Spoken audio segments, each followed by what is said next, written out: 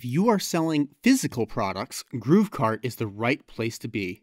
Before you create a store, the GrooveKart dashboard shows Create a New Store, and the sidebar has the same options as the main dashboard of Groove. Click to create a store, choose a subdomain, check if it is available, and create your store. The system will create your store over the next few minutes.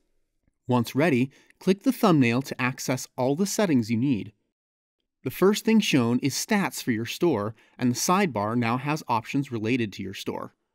We recommend following the step by step checklists on the side before anything else. Let's take a look around. Products is where you will set up your actual products for sale under My Products.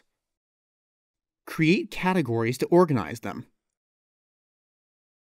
Add coupons under Discounts. And finally, use POD and dropshipping to connect outside platforms. This is possibly the most powerful option in GrooveKart. Using these platforms, you can sell products without the need to store them in a warehouse or produce them yourself. You can start selling in your store right away.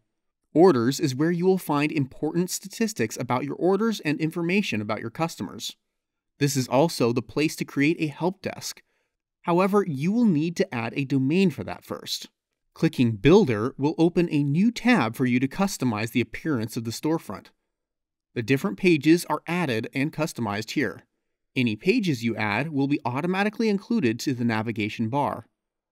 Above pages are blocks and elements. Elements are individual pieces of content on the page, like text and buttons while blocks are pre-designed sets of elements that you can drag into the page. Back at your dashboard, you can find a variety of apps to help set up and run your store. Particularly helpful if you already have a store elsewhere are the Shopify Migration Tool and the CSV Product Import Tool. The Designer app is used to create a preview image of any of your products, so you don't need an image editing program. Finally, there is Groove Quiz, which can be used to gather data from leads in exchange for discount coupon codes. The last option in the sidebar is Settings. It is important to review these before going live with your storefront.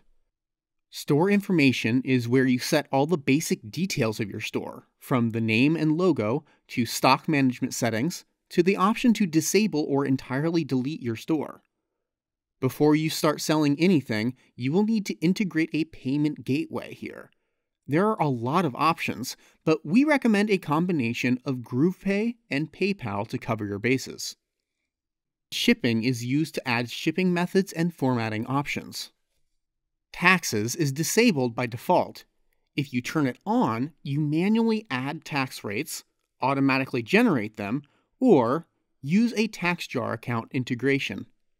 International settings are where you will find currencies you accept and areas of the world you sell in. If you have a team, you can add employees under staff accounts. They will log in through your domain to access the store details. Mail templates is the area for confirmation emails, set for nearly any action your customer can take. You can edit these to your liking, but the basics are already filled in for you. If you are advertising, you may need to visit pixels, feeds, and embed codes to add your tracking codes. You'll also find email marketing helpful if you need to export your customers' contacts into an external email marketing service. However, you can also use GrooveMail, which will already have access to these emails. Legal pages is another essential setting to look over. All of these are automatically generated with the details you entered when creating your store, but you'll want to make sure to review and edit the shipping policy and refund policy to match what you are offering in your store. The final page of settings, API and webhooks, is an advanced option for integrating external services and apps. We only recommend using this if you have coding experience. If you get stuck or have any questions, reach out to us here or check out our growing collection of tutorials here.